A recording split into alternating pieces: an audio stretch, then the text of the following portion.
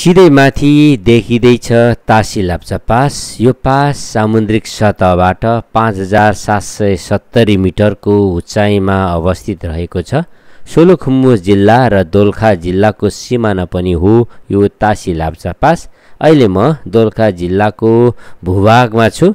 सिधै माथि यो देखिएको हिउँको बिस्कुनको शिखर हो पार्सामो हिमाल र सिधै तल डोलुम्बाउ हिम ग्लेसियर साथै सुन्दर मनमोहक हिमालहरू। यो टेङ्गी रागी हिमालको आकर्षित र मोहित पार्ने खालको दृश्यले म हौसिएको छु अहिले।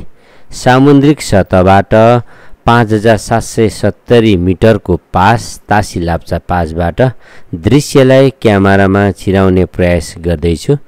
ट्याङ्गी रागी हिम पर्वतमालाको दृश्य नजिकबाट निहाल्नुमध्ये एक विशेषता पनि हो यो तासी लाप्चा पासको।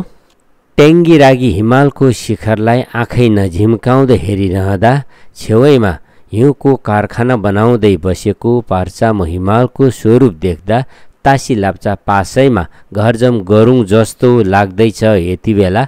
सौन्दर्यको बयान गरिसाध्य छैन तासी लाप्चा पासको। स्थानीय समय अहिले बिहानको आठ भएको छ। अहिले म सोलुखुम्बु जिल्लाको भूगोलमा छु। तासिलाप्चा पासको हिउँको कारखानामा उत्पादन भएको हिउँको सोतर देख्दा अचम्मित र पास छिचोल्दाको सारा थकान भागेको छ यति बेला मेरो र यो हिउँको बिस्कुनमा लडीबुडी खेल्दै सिधै मेरो आँखाको नानीमा ट्याङ्गी रागी हिम पर्वतमालाहरूलाई आँखाको नानीभित्र राख्दैछु र साथै पार्चाम हिमालबाट भाग्दै आएको भुइँकुयोको होललाई पनि यतिखेर निहाल्दैछु म।